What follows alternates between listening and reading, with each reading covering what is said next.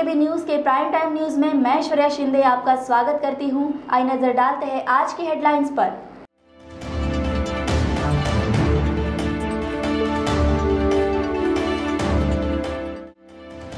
चंद्रशेखर बावनकुले की शेख हुसैन पर हुई कार्रवाई पर प्रतिक्रिया। शेख हुसैन पर ठोस कार्रवाई के लिए दिया कमिश्नर को निवेदन।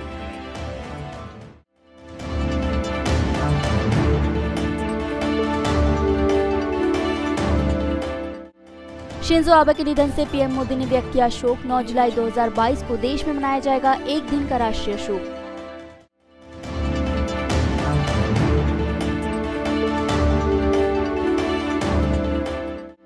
और चर्चा के लिए आज दिल्ली पहुँचेंगे एकनाथ और फडणवीस। शिंदे सेना के 14 बीजेपी के पास होंगे 28 विभाग।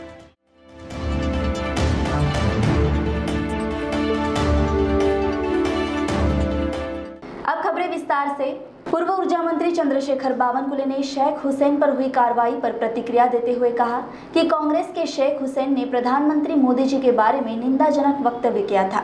इस बारे में हमने गिट्टी कदान पुलिस थाने में शिकायत भी दर्ज कराई थी। पुलिस ने उन पर इतनी छोटी कार्रवाई की कि वे एक मिनट में बाहर आ सके।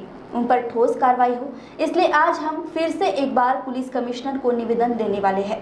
ऐसी जानकारी बावनकुले ने इस वक्त दी। मोदी जी इनके बारे में कांग्रेस के मोर्चा में कांग्रेस के शेख हुसैन, इन्होंने निंदाजनक टिप्पणियाँ की थी। उनके व्यक्तिगत चारित्र पर हनन होगा ऐसा वक्तत्व किया था। हमने गिट्टी कदार पुलिस स्टेशन और पुलिस कमिश्नर को इसका सबने जाके निवेदन दिया। हमारे प्रवीण दटके जी के अध्यक्ष जी के नेतृत्व में हम सब गए थे। हम सारे विधायक थे, पुलिस ने उनके ऊपर कार्रवाई तो की, लेकिन इतनी छोटी कार्रवाई की जो कि वो एक मिनट में बाहर आ सके।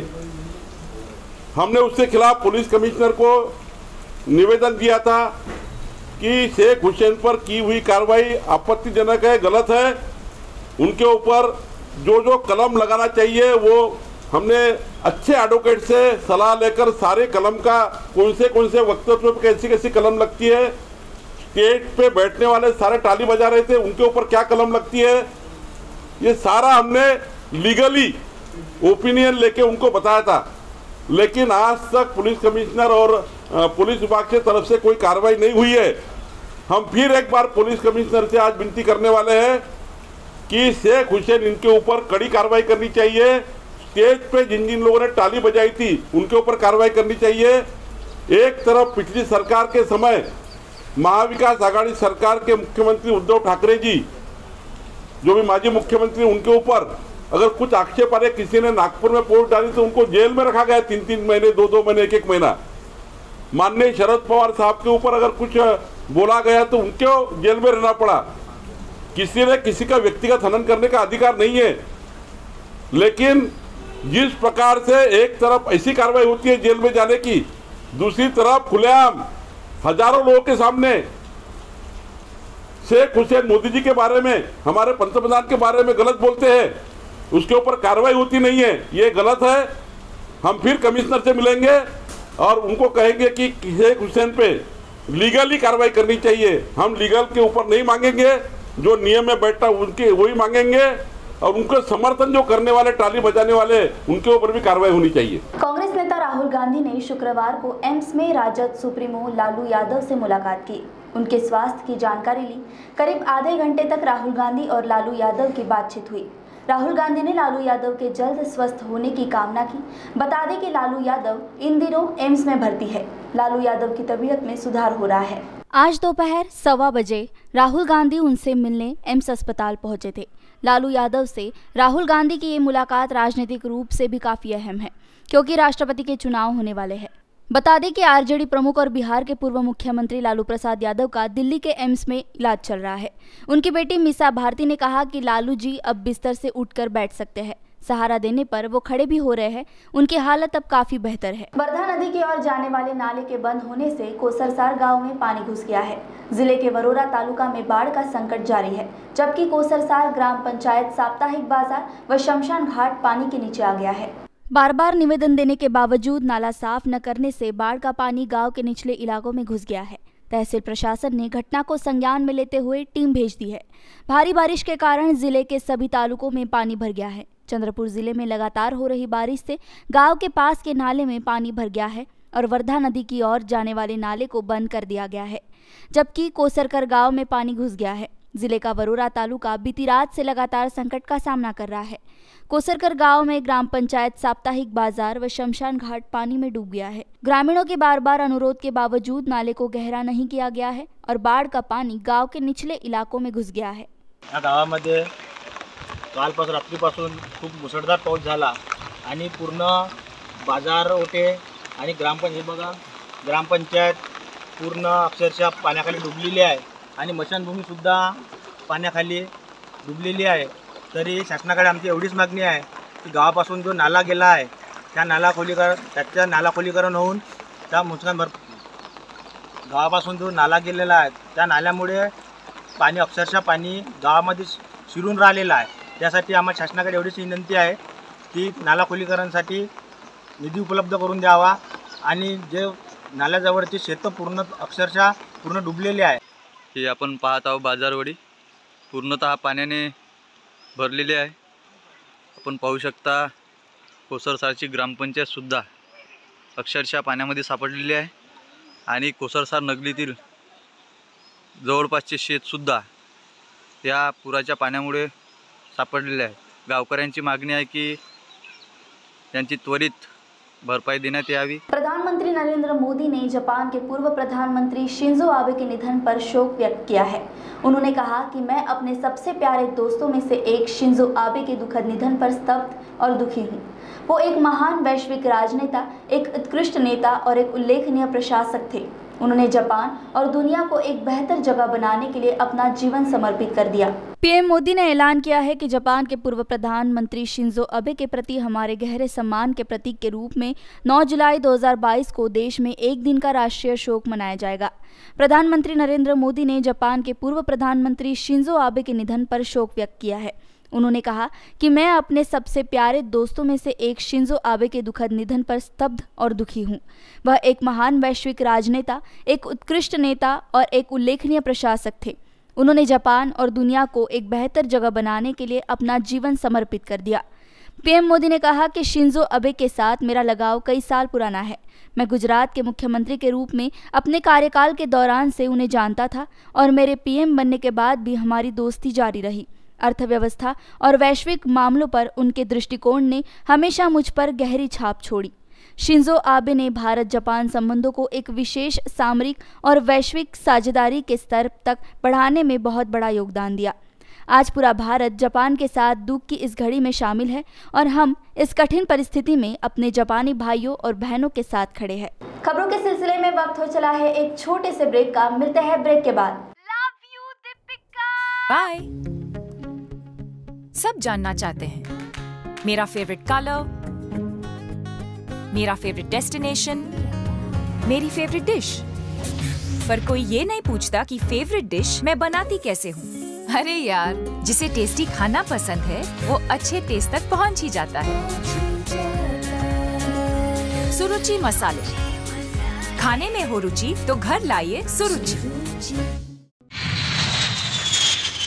सपनों की उड़ान भरने की इच्छा तो हर किसी की होती है।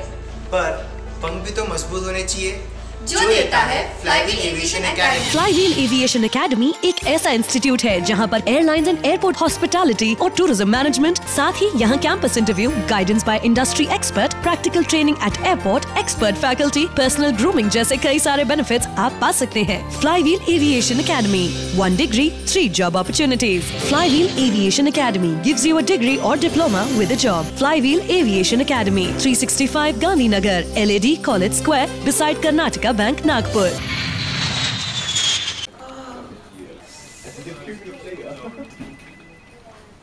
boss ने मीटिंग बुलाई। क्या यार? आदमी की तकलीफ़ को तो समझो। बाहर बाहर उठो बैठो उठो बैठो। जनाब तकलीफ़ उठने बैठने की नहीं। तकलीफ़ बवासीर की है। बवासीर फिशर, भगंदर पाइलोनियल साइंस का आयुर्वेद तथा आधुनिक लेजर से उपचार। Abhyudaya piles laser hospital, Lohar Samaj Bhavan के पीछे महापुष्प सोसाइटी, शताब्दी नगर चौक से मनीष नगर रोड, नागपुर। कॉल और विज़िट करें। www.pilesfistulacure.com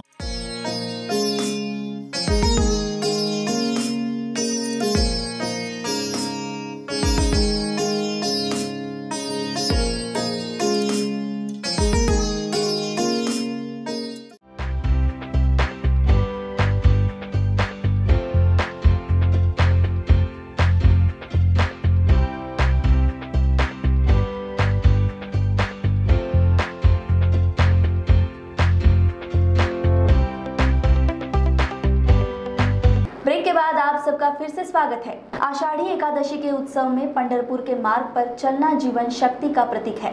अभिनेता स्वप्निल जोशी पहली बार पंडरी वारी आकर और अपनी दादी की स्मृति को देखकर बहुत खुश हुए और इस भावना से प्रभावित हुए। आषाढ़ी यात्रा में पहली बार पंढरपूर पहुँचे स्वप्निल जोशी, इस बार पैदल ही वाखरी से पंढरपूर पहुँचे। मा माझ्याकडे शब्द नाहीत सांगायला, म्हणजे मला गेली अनेक वर्ष वारी करायची होती गेली दोन वर्ष दुर्दैवाने कोणीच वारी केली नाही, कारण वारी झाली नाही. आणि यावर्षीचा उत्साह आणि आनंद आणि अशी मनापासून इच्छा होती की यावर्षी एक दिवस का होईना अर्धा दिवस का होईना एक तास का होईना पण वारी चालली पाहिजे. कारण माझी आजी मला नेहमी सांगायची की जर तुम्ही वारी केली नाही तर तुम्ही माणूस नाही. तर तुम्ही जिवंतच नाही. जर तुम्ही वारी चालला नाही आयुष्यात एकदा तरी तर तुम्ही जिवंत नाही. तुम्ही माणूस नाही. तर माझी खूप इच्छा होती. खूप वर्ष योग येत नव्हता. आणि मला फार आनंद आणि अभिमान या गोष्टीचा आहे की आज पहिल्यांदा वारी चालतो आहे अर्धाच दिवस चालतोय. हे लोक माझे सगळे हे आमचे बंधू भगिनी सगळे हे आमचे तीन मठांचे मठ. मी तुम्हाला खरं सांगू मी मगाशी कोणाला तरी ह्यांच्यापैकी म्हटलं मी कोणाच्या तरी पाया पडलो त्यांनी मला ना कोणाच्या पाया पडलो? ह्याच्या पाया पडलो तुमच्या पाया पडलो. मी आणि कोणतरी मला नाम लावलं आणि नकळत मी पाया पडलो कारण मला असं वाटलं की आम्ही चित्रपटात हिरो साकारतो. आम्ही हिरो साकारतो तेव्हा कोणीतरी आम्हाला डायलॉग लिहून देतं. पण ही सगळी लोक गेली अनेक वर्ष कोणी अनवाणी चालतं आहे काही लोक व्हीलचेअरवर आहेत. काही लोक असे आहेत ज्यांना म्हणजे माझ्या आजीच्या आजोबांच्या वयाची लोक आहेत आणि ते बेभान होऊन चालतात. आणि मी मगाशी कोणाला तरी भेटलो ते त्यांना मी विचारलं की दादा किती वर्ष वारी करताय? तर ते म्हणले मला आठवत नाही. जेव्हापासून लक्षात येते तेव्हापासून आहे सो म किती वर्ष झाली असतील तीस पस्तीस वर्ष. असं ते लिलया म्हणाले. तर हे फार आचाट आहे आणि माझ्याकडे शब्द नाहीत सांगायला. पांडुरंगाच्या चरणी इत इतकीच प्रार्थना आहे की माझ्याकडनंही वारी घडत राहो. आज अर्धा दिवस घडले आणि love one O T T Yash काय मागणं मागू? वेगवेगळी मागणी आहेत. पाऊस भरपूर होऊ दे बळीराजा सुखी राहू दे. वारकऱ्यांच्या आयुष्यातली सगळी दुःख कष्ट त्याचं निवारण होऊ दे. महाराष्ट्रावर येणारं प्रत्येक संकट भारतावर येणारं प्रत्येक संकट पांडुरंगाच्या कृपेने दूर होऊ दे. आमच्या सगळ्यांच्या आयुष्यात सुख शांती भरभराट असू दे. आणि थोडासा स्वार्थ आहे. की वन ओ टी टीची सुरुवात करतो मी परत परत म्हणतो त्यामुळे आमचा वन ओ टी टी पांडुरंगाच्या कृपेने चालू दे यशस्वी होऊ दे आणि लोकांचं मनोरंजन करण्याची आम्हाला ताकद मिळू दे आणि आमच्या माध्यमातून लोकांच्या चेहऱ्यावर आनंद फुलू दे स्माईल येऊ दे अशी खूप सारी मागणी मागणार आहे पांडुरंगाकडे. पण ती आई आहे तिच्याकडे नाही मागणार तर कोणाकडे मागणार? त्यामुळे जे मनात येईल ते सगळं मागणार आहे तिच्याकडे. मुख्यमंत्री के वाहनों का काफिला प्रवास करते समय सुरक्षा के दृष्टिकोण से यातायात अवरुद्ध की जाती है। हालाँकि इससे बेवजह ट्रैफ़िक जाम होता है और वाहन चालकों को परेशानी होती है। इसलिए मुख्यमंत्री एकनाथ शिंदे ने निर्देश दिया है कि मुख्यमंत्री के काफिले को विशेष प्रोटोकॉल की ज़रूरत नहीं है। उन्होंने इस मामले पर पुलिस महानिदेशक रजनीश सेठ और पुलिस आयुक्त विवेक फलसालकर से चर्चा की और इस विषय पर निर्देश जारी किए। उन्होंने मुख्यमंत्री के प्रवास मार्ग पर पुलिस का बंदोबस्त कम करके कहीं भी गाड़ियाँ अड़ाई ना जाए, यह सुनिश्चित करने के भी निर्देश दिए। ये आम आदमी की सरकार है और वीआईपी से आम आदमी की प्राथमिकता है। मुख्यमंत्री शिंदे ने समझाया। मुख्यमंत्री के तौर पर मुझे लगातार यात्रा करनी पड़ती है। प्रवास में कोई व्यवधान ना आए, इसलिए यातायात रोक ली जाती है। इसलिए काफ़ी जाम लग गया। पिछले तीन चार दिनों के दौरान मुख्यमंत्री ने देखा है कि पुलिस बल पर कार्यभार बढ़ रहा है, क्योंकि उनके लिए अधिक पुलिस तैनात की जा रही है। इसलिए लोगों को मुसीबतों का सामना करना पड़ता है। ज़रूरी काम से बाहर जाने वाले लोग फंस जाते हैं। अगर एंबुलेंस फंस जाती है तो मरीज़ की जान को खतरा हो सकता है। इसीलिए मुख्यमंत्री का पद संभालने के बाद मुख्यमंत्री शिंदे की भूमिका है कि अपनी यात्रा के लिए बेवजह अन्य वाहन चालक परेशान ना हो। महाराष्ट्र में नई सरकार के गठन के बाद अब मंत्रिमंडल विस्तार को लेकर अटकलें शुरू हो गई है। इस बीच मुख्यमंत्री एकनाथ शिंदे और डिप्टी सीएम देवेंद्र फडणवीस ने गुरुवार शाम को नई सरकार चलाने के लिए मंत्रिमंडल को लेकर चर्चा की। हालाँकि संभावना जताई जा रही है कि शुक्रवार तक विभागों का आवंटन तय किया जा सकता है। क्योंकि दोनों नेता भारतीय जनता पार्टी आलाकमान से मिलने के लिए दिल्ली जा रहे हैं। भाजपा के अंदरूनी सूत्रों ने कहा है कि अंतिम निर्णय पार्टी नेतृत्व द्वारा लिया जाएगा, लेकिन एकनाथ शिंदे के नेतृत्व वाले शिवसेना गुट को 14 मंत्रालयों की पेशकश की गई है और बाकी 28 विभाग भाजपा के पास होंगे। महाराष्ट्र में नई सरकार के गठन के बाद अब मंत्रिमंडल विस्तार को लेकर अटकलें शुरू हो गई है। इसी बीच मुख्यमंत्री एकनाथ शिंदे और डिप्टी सीएम देवेंद्र फडणवीस ने गुरुवार शाम को नई सरकार चलाने के लिए मंत्रिमंडल को लेकर चर्चा की। बगावत के वक्त साथ देने वाले निर्दलीय विधायकों और छोटे दलों को एकनाथ शिंदे अपने में समायोजित करना चाहते थे। एकनाथ शिंदे के गुट के एक नेता ने बताया कि मुख्यमंत्री एकनाथ शिंदे के सामने समस्या ये है कि कुल 40 विधायकों में से नौ पिछली महाराष्ट्र विकास आघाड़ी सरकार में मंत्री थे और इस तरह वो नई सरकार में अधिक से अधिक विधायकों को समायोजित करने के लिए अधिक विभागों पर ज़ोर दे रहे हैं। ऐसे संकेत है कि भाजपा द्वारा गृह, वित्त, राजस्व, सहयोग और विपणन, सार्वजनिक स्वास्थ्य, कृषि, उद्योग और ग्रामीण विकास जैसे विभागों पर दावा करने की संभावना है, जबकि शिंदे के नेतृत्व वाले गुट को शहरी विकास लोक निर्माण विभाग, जल संसाधन और स्कूली शिक्षा विभाग मिल सकते हैं। चीनी वायुसेना के विमान ने वास्तविक नियंत्रण रेखा पर पूर्वी लद्दाख सेक्टर में बहुत करीब से उड़ान भरी। ये घटना जून के अंतिम सप्ताह की है, जिसके बाद भारतीय वायुसेना ने भी तेज़ी से प्रतिक्रिया दी थी। सूत्रों ने बताया कि जून के अंतिम सप्ताह में एक दिन सुबह लगभग चार बजे यह घटना हुई। जब विमान को देखा गया, साथ ही ये सीमा क्षेत्र में लगे स्वदेशी रडार की पकड़ में भी आया। भारत चीन के बीच दो वर्षों से चल रहे तनाव के बीच पूर्वी लद्दाख में बड़ी संख्या में दोनों देशों की सेनाएँ तैनात है। इस बीच बड़ी खबर सामने आई है। जून महीने के आखिर में चीन के एक फाइटर प्लेन ने एलएसी के बहुत करीब उड़ान भरी थी। सूत्रों ने कहा कि संभावित हवाई क्षेत्र के उल्लंघन का पता चलने के तुरंत बाद भारतीय वायुसेना भी सक्रिय हो गई। सूत्रों ने कहा कि यह घटना ऐसे समय में हुई जब चीनी पक्ष पूर्वी लद्दाख सेक्टर की सीमा से लगे क्षेत्रों में अपने लड़ाकू जेट और वायु रक्षा हथियारों से जुड़े अभ्यास कर रहा है। चीनियों के पास बड़ी संख्या में लड़ाकू जेट और मानव रहित विमान है। इनको भारतीय क्षेत्र के पास होतान और गारगुसा में प्रमुख हवाई क्षेत्र में तैनात किया गया है। पिछले दो वर्षों के दौरान इनका तेज़ी से विकास किया गया है। गौरतलब है कि साल 2020 में चीनी पीपुल्स लिबरेशन आर्मी ने अपने सैनिकों को भारी संख्या में पूर्वी लद्दाख में भारतीय चौकियों के पास तैनात कर दिया था, जिसके बाद दोनों देशों की सेनाएँ आमने सामने आ गई थी।